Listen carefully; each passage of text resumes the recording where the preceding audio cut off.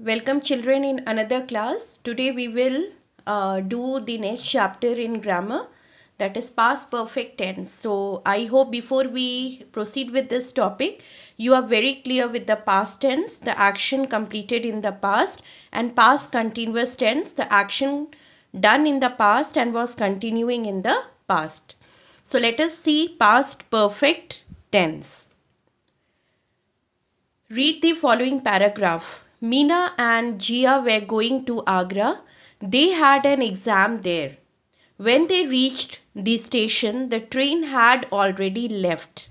They had got late because there was a traffic jam at the crossing before the station. An over-speeding truck had jumped the red light and had hit a Maruti car. The passengers in the car were badly injured.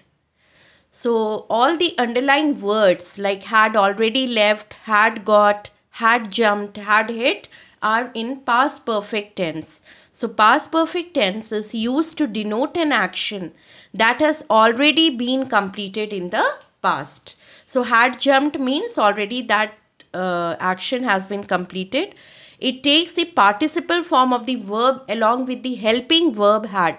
So whenever we have to write the past perfect tense, we use had word plus the past participle like left, got, jumped, hit. Okay. So that is the structure how we write past perfect tense. Now let us see the usage of past perfect tense. Past perfect tense is used when two actions were taking place. So this past perfect tense represents the two actions which were taking place in the past. So it talks about the action that had already been completed before the second action began. So both the actions had completed but the first action already was completed when the second action was starting in the past like the train had already left when I arrived at the station. So the first action is the train had already left and which is completed when the second action began. And what is the second action which began? When I arrived at the station. So we have to mention the two actions uh, where we have to show the first action already completed when the second action began.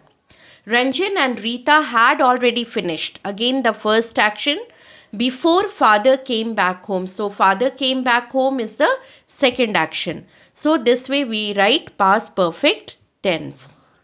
Now let us see the structure of the past perfect tense. How we write in different types of sentences the past perfect tense.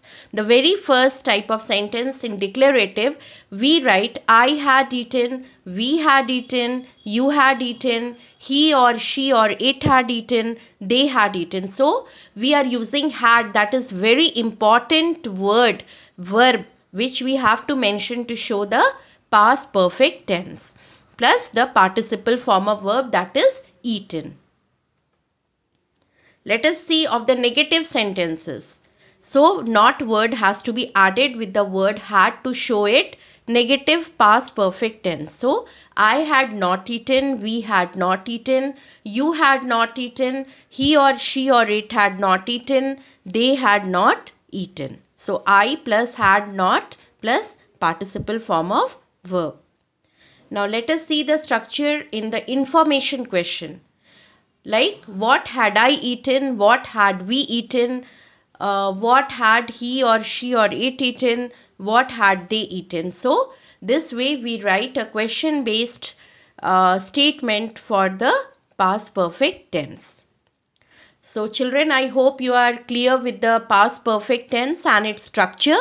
So you are supposed to revise the chapter along with the examples and do the given exercises 1, 2 in the chapter um, in the book itself. In case if you don't have the book, you may use your copy uh, where you can note down the questions along with the answers. So till then, goodbye. Have a nice day.